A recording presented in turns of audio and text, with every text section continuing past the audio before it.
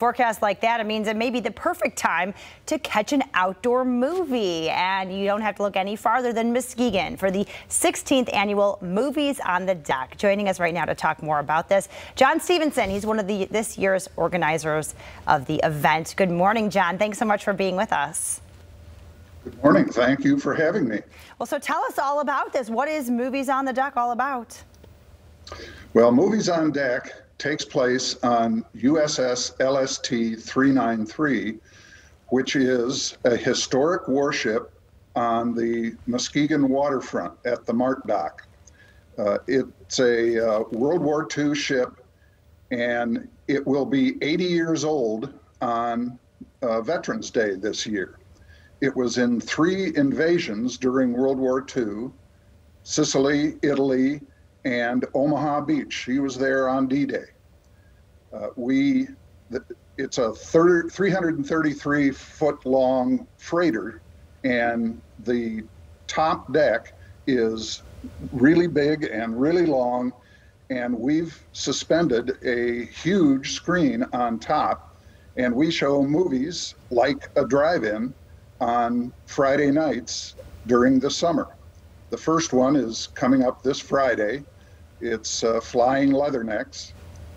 And the, uh, admission is free, doesn't cost anything to come and watch it. And we sell popcorn and pop and candy.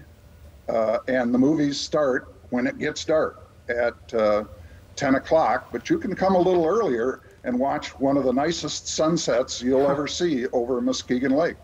Wow, what a cool experience this is. I love this and it's completely free. What else do people need to know? Like if can they bring blankets and things like that? Like what should they be prepared for?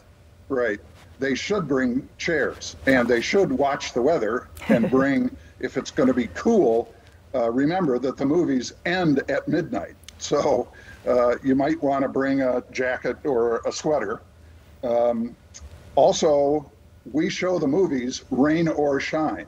Now, if it rains, we'll go inside the ship because we have a giant screen inside too. Uh, inclement weather doesn't mean that the movies are off, uh, but we'll show all four movies, rain or shine, and uh, but for sure bring something to sit on, uh, a chair or a blanket, something like that. Okay. Wow. And so can people tour, take a tour of the ship before the movie? Is there any chance to opportunities to do that? You can walk around the top deck and see what's on the outside of the ship, but the volunteers, and we're an all volunteer museum, the volunteers are busy selling popcorn, setting up the movie, and we don't have time to supervise the inside of the ship. But you do get a chance to see what's on the top deck and the uh, upper decks on the outside. Wow, what a unique, cool experience. If people want to learn more about this, they want to get information, the dates and times and things, what do they need to know? Uh, the, one of the best places to find out information about LST 393 and the museum is at lst393.org.